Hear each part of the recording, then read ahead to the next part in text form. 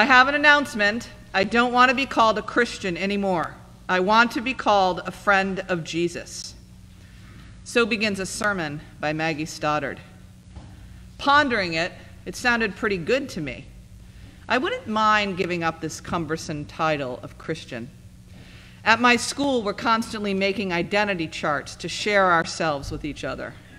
I'm a bit tired of putting down the word Christian and having people stare at me like I've announced I send bombs through the mail. At the same time, I'm not sure putting friend of Jesus would improve things. John is focused on love. He says that again and again and again that if we love as we are loved, if we can take that powerful, affirming, justice rooted love that comes from God and beam it to others, well, then our joy will be complete. I love that phrase, your joy will be complete. I know the feel of it in my mouth. It's what I want for my children, for my friends. I want them to know the joy of relationship with God, and I want their joy to be complete. Someone on Desperate Preacher said, It's easy to be a servant one afternoon of making sandwiches or giving a ride. The hard thing is the day in and day out demands of showing up and being a friend. This discussion is the reason I so loathe the term friend on Instagram and Facebook, as if that were friendship. Sending out a photo of my happiness or my politics with no real place for interaction or human nuance or comfort. We have sold our children a myth that the endless superficiality of social media can provide friendship, when in fact, friendship is such incredibly hard work, is so demanding of love and attention and mothering and nurturing. When Jesus says his disciples are his friends, he is not weakening the demand, he is tripling it. I've been listening to a podcast by Beth Moore called Chasing Vines. I got interested in her because she is a prolific female Christian teacher and preacher who left her denomination, the Southern Baptist Convention, because she felt their political stances were anti Christian. She reportedly lost millions of dollars and has been public excoriated for that decision. So I approached her book with some hope and some trepidation. And there are times when she is too conservative or too fundamentalist to reach me. But there are other times when she stops me in, her tra- in my tracks, when she articulates a truth about God beautifully and powerfully. Recently in my car, she was recounting her quest to know herself. She said she, was her, she sees herself as a summer girl, but has come to admit that she hates the grit and blow of sand at the beach. She said, no, she's really a winter girl, but she hates being cold she thought maybe the fall, but then she realized fall sports trouble her. And so it went. It reminded me of my lifelong lack of surety about where I want to live or spend my summers. How I want to be both a world traveler and buckle down in just one place, and move to a religious community, and live in New York City, and go back to Jamaica.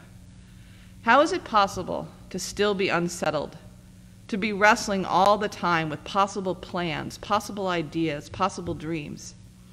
How is it possible, she asks, to still be so up in the up to still be so up in the air, to so often feel uncomfortable, like we're not enough, or too much, or in the wrong place, or at the wrong time?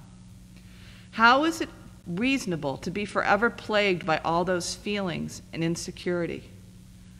She muses that this lack of comfort is perhaps what God imagined and designed our lives to be.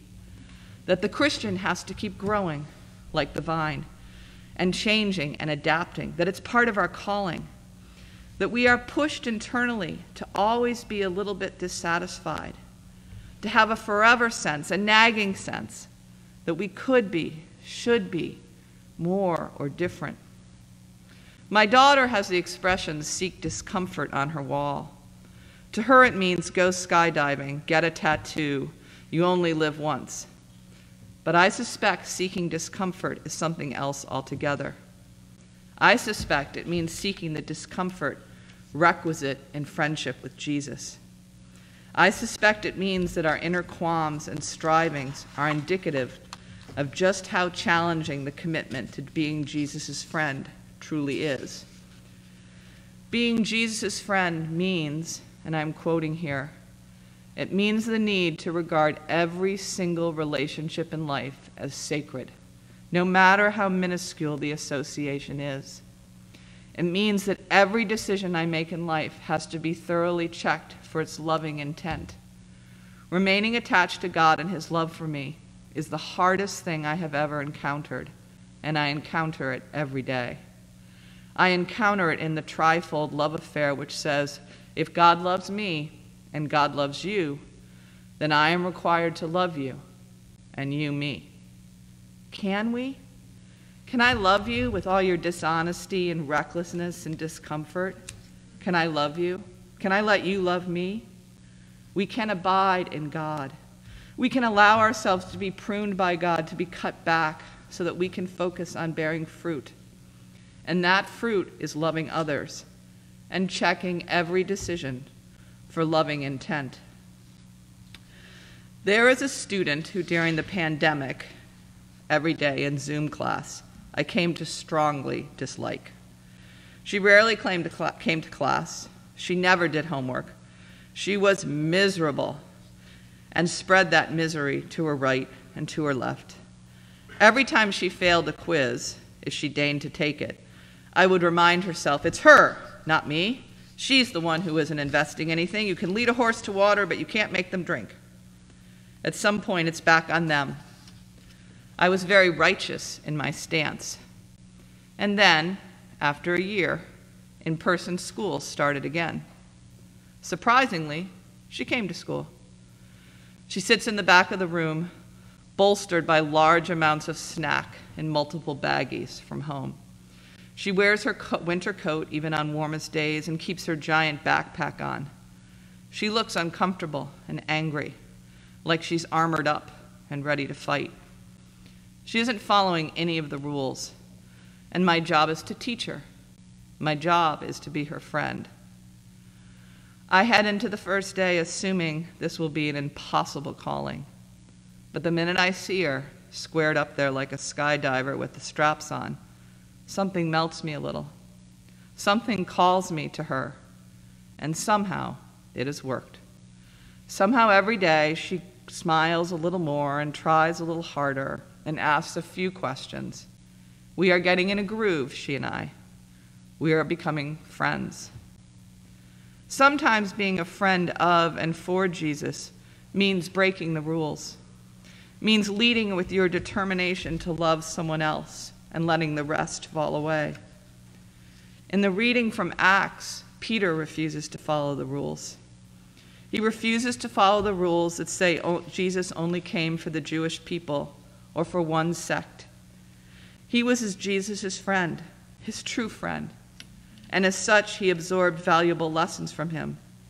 Lessons about being willing to heal on the Sabbath, to eat with tax collectors, to embrace the lepers, to heal the Samaritan woman.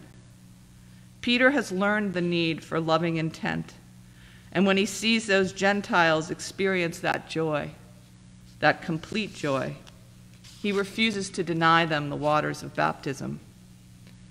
My guess is we're not supposed to be deciding who's in and who's out, who deserves the love and who doesn't. My guess is we are just supposed to keep showing up, again and again, offering our and God's love, offering friendship, and seeking discomfort. Amen.